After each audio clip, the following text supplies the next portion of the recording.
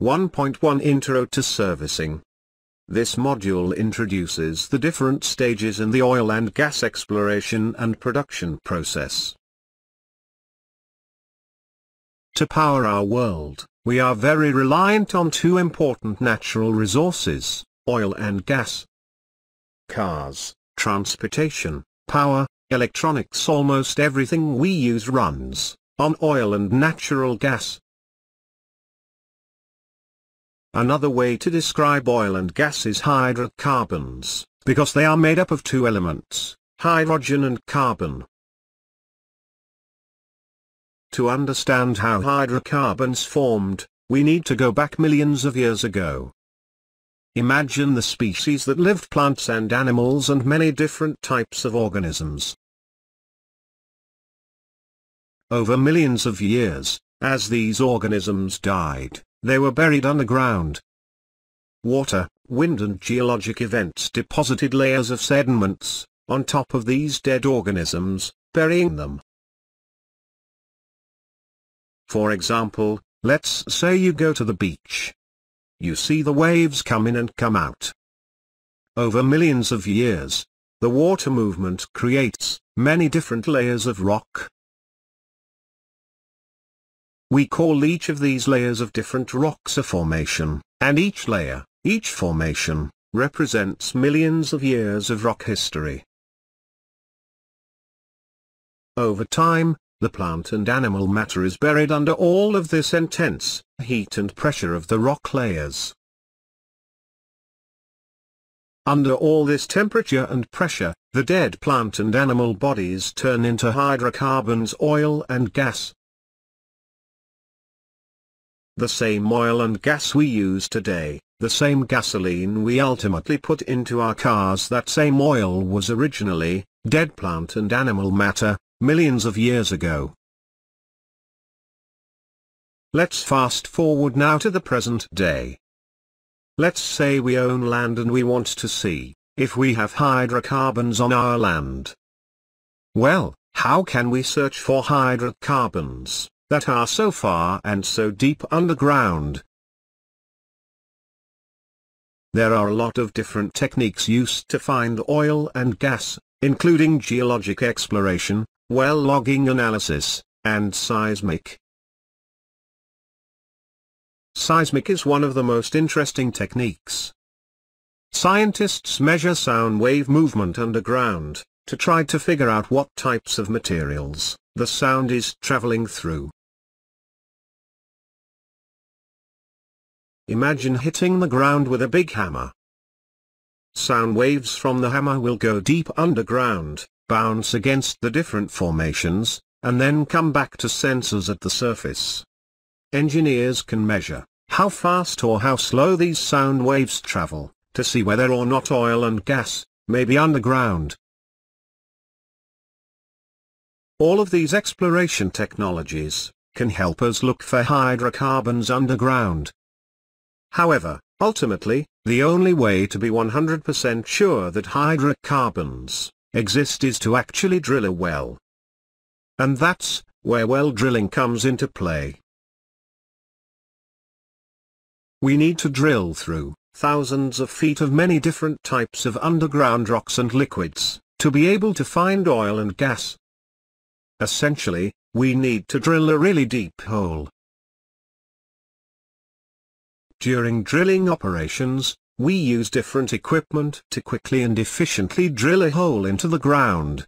Our goal is to drill to the formation, wherever it is, that contains oil and gas. After we drill to our desired depth, we begin completions operations. During well completions operations, we are readying the well for years of successful oil and gas production. We know oil and gas exists and we have drilled a hole to it. Our next step is to get it ready to be removed safely. After oil and gas starts flowing, we enter a phase known as well production. Well production is the years-long process of actually extracting oil and gas out of the ground,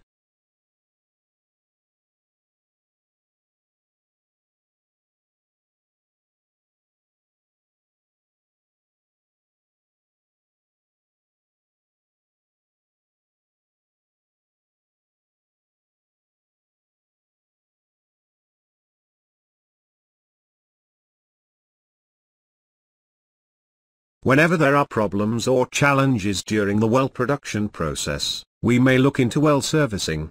During well servicing, we enter an already completed, producing well and perform different operations. For example, if a piece of production equipment breaks down, we would need to enter the well and fix it. Similarly, if oil stopped flowing upwards or if we wanted to make it flow faster, different well servicing strategies can be used. The final stage in a well's lifetime is well abandonment. When abandoning a well, we have typically exhausted all the oil and gas that we would like or are able to remove, and we are preparing the well for safe closure. During many of these well operations, from drilling to abandonment, all necessary work is performed by massive structures known as rigs. Rigs are made up of tools, equipment, and safety mechanisms used to perform different well operations. Every type of rig is different, and different rigs are designed to carry out different operations. Some rigs have the ability to drill a hole in the ground. Other rigs can pump and circulate different fluids in and out of the hole. Other rigs can transmit messages and information about what is happening underground. At the end of the day, the goal is to use the cheapest possible well servicing equipment that can do the job as safely, effectively, and quickly as possible. The most expensive and powerful type of rig is a drilling rig. Used for the majority of drilling operations, a drilling rig has the ability to do almost anything, drill, quickly lower piping into the hole, circulate, and much more. A workover rig is a smaller version of a drilling rig that is less expensive but does almost all the same things. As a result, a workover rig is not designed for extensive drilling but is used for the most challenging well servicing procedures. For many operations, a full-fledged rig is not needed. Instead, units are smaller sets of equipment, used to perform different well operations, more inexpensively. First, a snubbing unit is another well servicing option. A snubbing unit is smaller and more compact than a workover rig, making it cheaper. In addition, a snubbing unit can service a well while it is producing, while it is actively bringing oil and gas to the surface. An even cheaper option for well servicing is the coiled tubing unit. A coiled tubing unit utilizes a different type of pipe, coiled tubing, that is much more flexible, allowing for quick, easy servicing and well circulation. Lastly, the cheapest structure for well servicing is the wireline unit. The wireline unit lowers very thin cable, essentially wire, into the well with different tools attached to it. Wireline is the easiest and cheapest unit to use for servicing. In this course, our focus will be on different well servicing operations, wireline, coil tubing, and snubbing. We will delve into the different processes and the role of well control in ensuring safe, reliable servicing. Nice job! You're done with this chapter. Good luck with the quiz.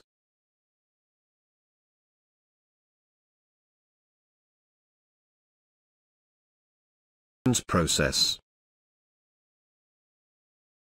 This module walks through the well completions process.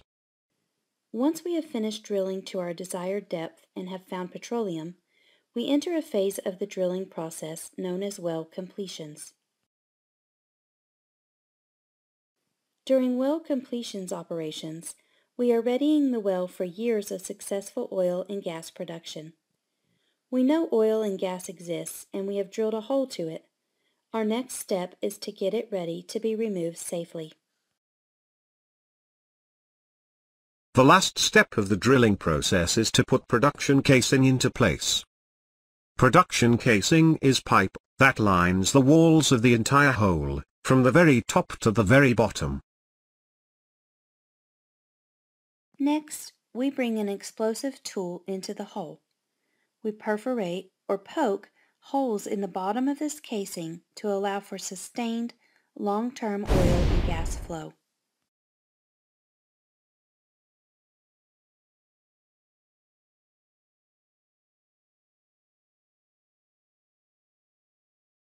Then, we insert a packer into the hole. A packer is a device used to isolate an area of the hole.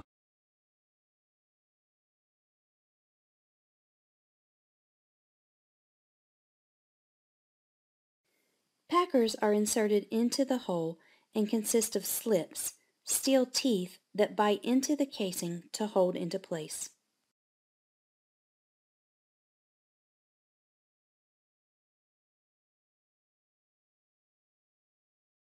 Then, we bring out thinner pipe, known as tubing, and have it go through the entire hole all the way from the top of the well to the bottom. When oil flows out of the ground, we want the fluid to come up through this tubing.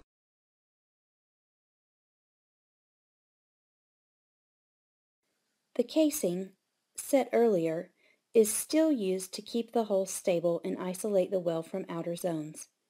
Within the casing, the smaller tubing is used to actually allow for oil and gas flow upwards. The packer makes sure fluid only comes upward through the tubing, not around it.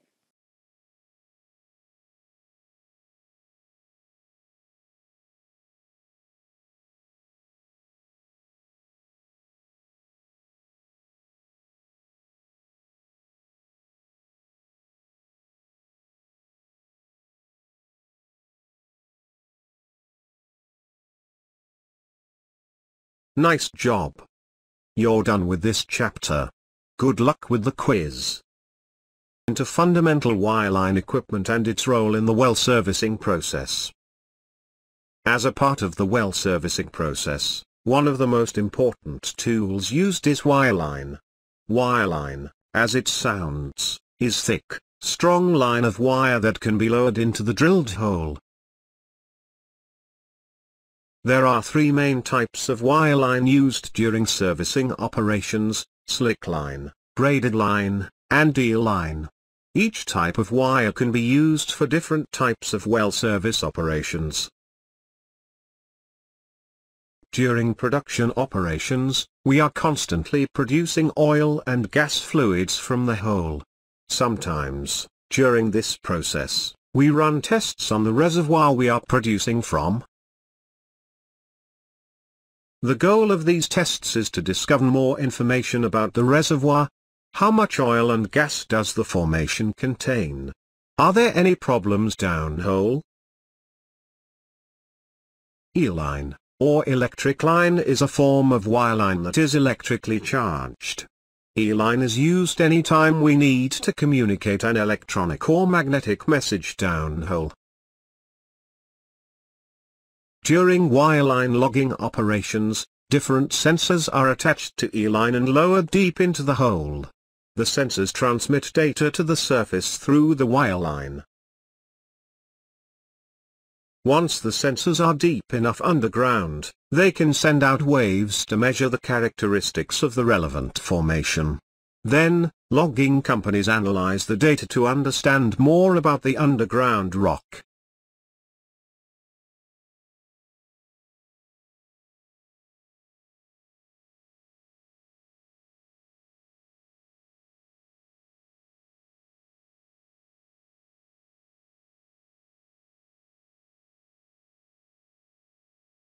During other servicing operations, different objects need to be lowered or removed from the well. For these operations, we need a method to easily bring equipment and tools in and out of the well. Slickline is single-strand wire lowered into the hole to raise and lower tools, perform maintenance, or lift dropped objects to the surface.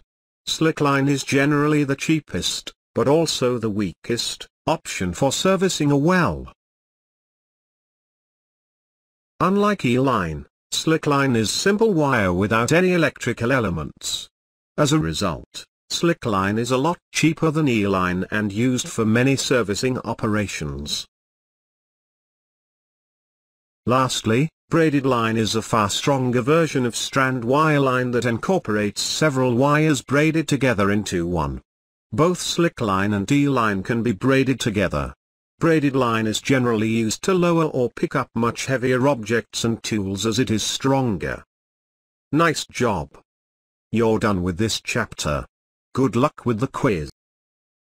This module introduces the coil tubing unit. The coil tubing unit is a well servicing unit utilized for many different well operations. The use of coil tubing, highly flexible hose-like pipe, allows for much greater operational flexibility than many other servicing methods. Drill pipe and conventional tubing, like most piping, require thousands of pieces of pipes to reach the bottom of deep wells. Adding each piece of pipe is a long, strenuous, and taxing process. Meanwhile, coiled tubing can be stored and unrolled off a reel, just like a water hose or sewing thread. This makes coiled tubing operations significantly faster than conventional workover.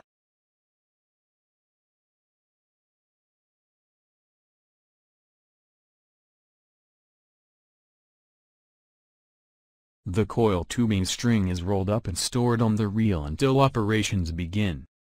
The length of the string is dependent on the depth of the well and can be tens of thousands of feet long.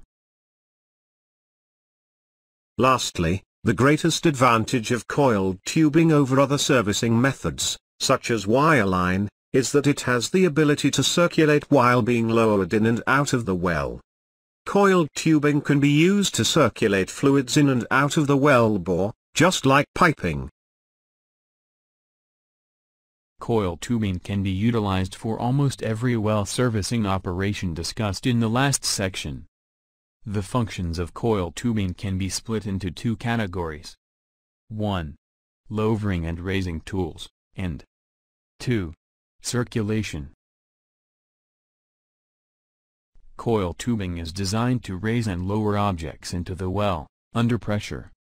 Even if a well is live with pressure at the wellhead, a coil tubing unit is designed to successfully lower objects into or raise objects out of the well. In addition, coil tubing is also designed to circulate fluid from the surface into the well. Coil tubing can be utilized for both one-way and round-trip circulation into the well. Nice job. You're done with this chapter. Good luck with the quiz.